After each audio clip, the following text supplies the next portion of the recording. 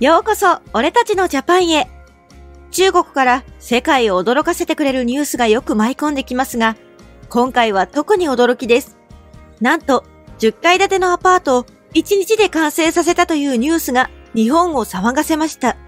その様子は事細かに編集され、完成したアパートの PV として宣伝用に使われているんです。まさに信じがたいことなのですが、安全性がとにかく不安ですね。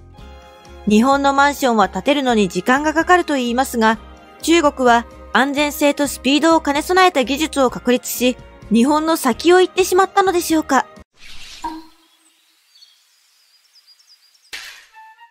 僕は総合建設工業に勤めている。事業主からもらったマンションの建設の依頼を受け、実際にマンション建設の工事、管理を行う。仕事には様々な人たちが関わっていて、一人で全てを切り盛りするなんて無理なことだ。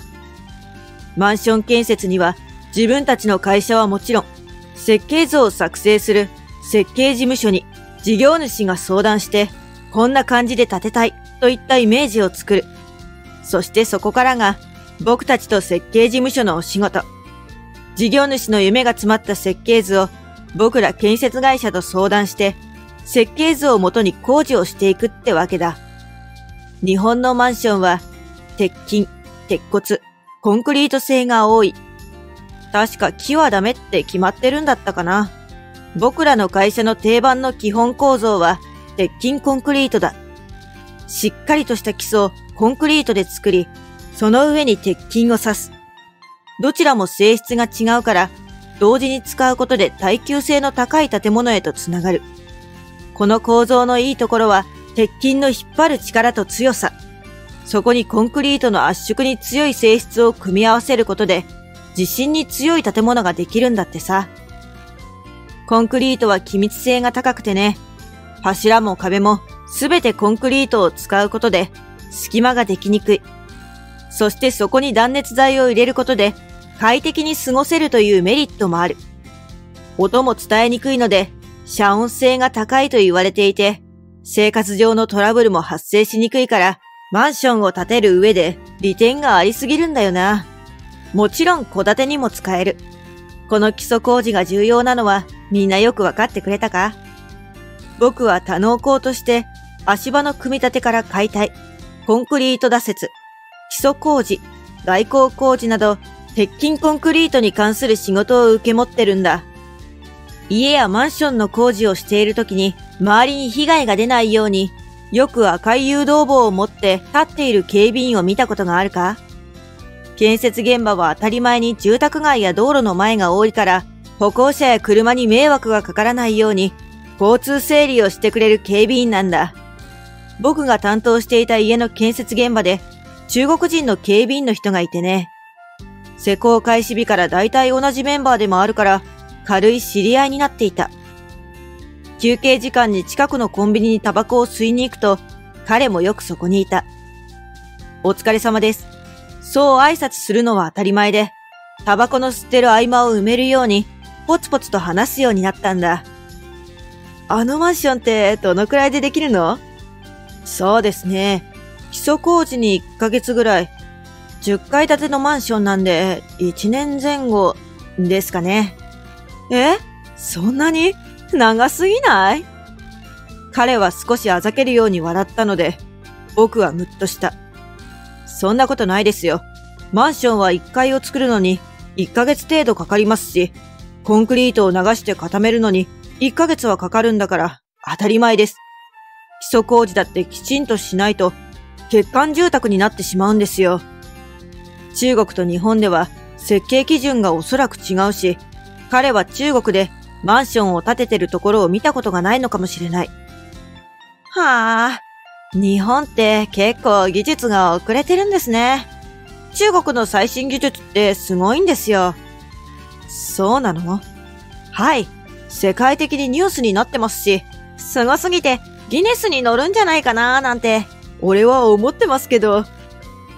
中国の技術なんて気にしたことがなかった僕は、ちょっと興味が湧いた。例えばどんな感じなの？教えてよ。自慢げに彼が教えてくれたのは一つの動画。中国の建設会社が挙げたもので、中国語はわからないが、何やら鉄のような素材で基礎らしいものを組み立てた後、いくつかのコンテナを作成している。ん？プレハブの仮設住宅か何かか。それなら別に早く作れても当たり前だろ。仮設住宅はスピードが大事だし、何より取り壊すことも前提のものだ。でも、窓などがしっかりついているし、少し綺麗すぎじゃないかな。動画はどんどん進み、出来上がった仮設住宅をトラックで運び出していた。これが最新技術？そんな風には見えないけど。ところがその後、運んだ仮設住宅をクレーンで吊り上げて、まるでレゴブロックみたいにカチッカチッと積み上げていった。作ってあった大きな窓枠とベランダは中から押し込むような形で、配線やトイレの設備もあらかじめ仮設住宅内に配置されていたんだ。これ、1日で10階建てのマンションを作ったんですよ。すごすぎません？しかも日本より早いし、綺麗だし、耐震性もあるんです。え ?1 日？だから、1年かかる日本のマンション作りって長すぎだろうって正直思っちゃいますよ。まあ、俺の仕事が続くからありがたいんですけど、もっと時間かけてもいいですからね。1日。で、マンションが建てれるわけない。この動画は確かに建てているけど、彼は頼みますよ、と、いつもよりも慣れ慣れしい口調で先に現場に戻っていった。僕のやっている仕事を侮辱された気分だった。彼にそこまで悪気はないんだろうが、それにしても、中国ではこれがもう普通なのか？僕は気になってこのマンションについて調べた。すると日本のニュースがいくつか紹介しているのが分かった。やっぱりすごい技術なのか？動画の中で流れていたように内装のほとんどが工場で作っているそうだ。工場で作業をほぼ行うので、建設現場での事故のリスクも減るし、作業中のゴミや粉塵もなくなるし、いいことずくめ、と紹介されている代表者は喋っていた。材料を揃えるところから完成までたった2ヶ月だそうだ。組み立てを1日でやるんだから、それはそうだよな。代表者は使われている基礎は軽くて丈夫なステンレス製。2011年に30階建てのビルを建てたが、その時の耐震震度は震度7。あれから10年経ったこのマンションの建設では、さらに高水準になっている。160回まで作れますよ、なんて自信に満ち溢れている。確かに、すごいかもしれないけど、基礎がステンレス？聞いたことないな。日本でも使われているのか？と思い調べると、高値ではあるが、いくつか使用されていることが分かった。京都清水の舞台で有名な清水寺の音羽の滝の手すりに設置されたりしたことがあるそうだ。水が近くにあり、山奥ということもあり、錆びる鉄よりはいいかもしれない。値段が高いから日本では普及していないのか？ステンレスは錆びなくて軽い素材だ。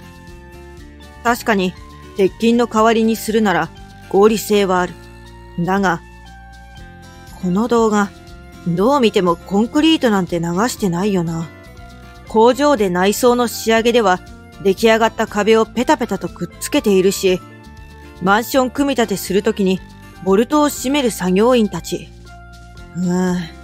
しかもトラックで内装を運んでるじゃないか。どれだけ軽いんだよ。吹けば飛んでしまいそうな気しかない。代表者によると、この組み立て式の建築技術は、すでにシンガポールでも広がっているそうだ。これから日本でも普及していくのかな。実際に住んでる人の声も知りたい、と探してみるが、全く出てこない。あまりにも速いスピードで立ったため、政府から承認が得られなく、なんと今は誰も住んでいないそうだ。魚の養殖場になっているというニュースもあった。何その無駄遣い。確かに怖すぎる。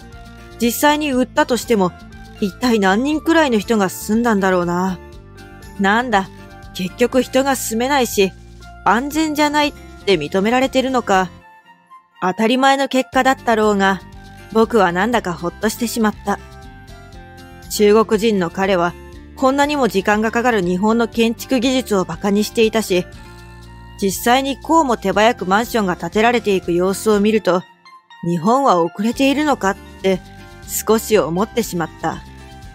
でもいくらステンレスで作った軽い基礎工事がすごかろうが、一日で建てられようが、僕は目の前の地道な作業をただこなすだけなんだよな。一つの工程でも気を抜くわけにはいかないし、家を支える大事な工程だ。僕は自分の仕事にしっかりと自信を持って取り組む。それだけ。彼の言う通りに日本で組み立て式のマンションが広がるかもしれない。だけど、それはそれでいいところもあると思うんだ。もっとこうした方がいい、良くなる可能性がある。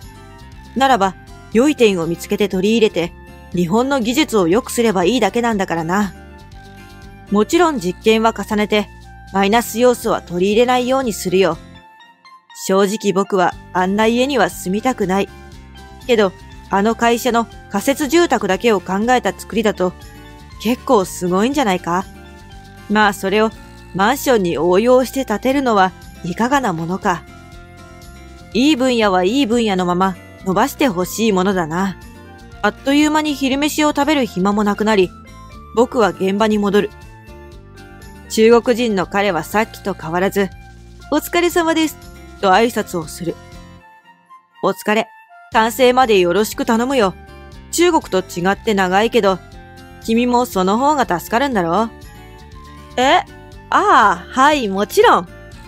さっきの話を思い出したかのように笑う彼に、僕はしっかりと目を合わせて、じゃ、しっかり見ててくれよな。日本のマンションの建設の仕方。出来上がりはすごいからさ。速さじゃなくてな。期待してていいぞ。魚の養殖場じゃなくて、人間が住むところだからさ。皮肉ったことに彼は気づかず、わかりました、と不思議そうに返事をする。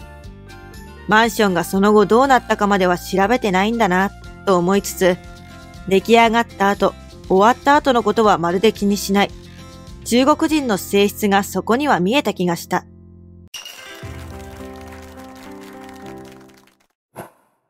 いやいやいや、何これ？おもちゃなの？それとも今流行ってる新しいゲームとか？こんなの怖すぎて住めないって、積み木と一緒じゃない。すぐ崩れちゃいそう。台風とかって中国では起こらないの？あんな風に押し込んだ窓なんて全部飛んでいっちゃって、それこそ近隣住民たちは被害を負うんじゃないかしら。いくら建設中のリスクが低いからって言っても、出来上がった後のリスクは少しも考えられなかったの？基礎工事ってちゃんとしてるのかな？日本で基礎工事が重要とされてるって分かっちゃったから、これ余計に心配になっちゃうんだけど、むしろ知らない方が、このマンションの完成を素直に喜べたかもしれない。一番怖いのは、作業員が自信満々に回してるボルト。え？一個抜けたら部屋が崩れ落ちていく可能性があるってことだよね。いくらステンレス製の基礎を使ってるからって言っても、ボトルまでステンレス？ちゃんとそのあたりしっかり調べてほしい。160階建てでも大丈夫って、その間に絶対事故が起こるフラグじゃないの？計算だけなら誰でもできるでしょう。でも組み立てるのは中国人ってこと計算に入ってる？どうやらまだ人が住めるものではないようですね。10階建てのアパートやマンションにしなくても、ただのプレハブと見れば、それなりに価値がありそうですね。実際に近年の感染症で建てられた武漢の隔離病棟などはプレハブによる簡易的なものだったと言われています。利点があるならば、その利点を大切にし、人の命と周りへの影響を考えて、社会に貢献することができる事業に取り組んでいってほしいと思います。それでは最後までご視聴くださいましてありがとうございました。もしよろしければ皆さんのご意見や感想をコメント欄へお寄せください。また、よかったら高評価ボタン、シェアしていただけると嬉しいです。それでは次回の動画をお待ちください。